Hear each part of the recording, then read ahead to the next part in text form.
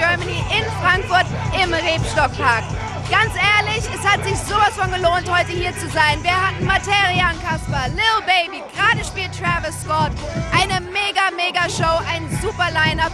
Aber morgen geht es auch noch weiter und zwar mit Cardi B. Äh, wir haben morgen Bowser am Start. Es gibt so viele geile Bands, also auf jeden Fall dabei sein. Es lohnt sich. Peace out.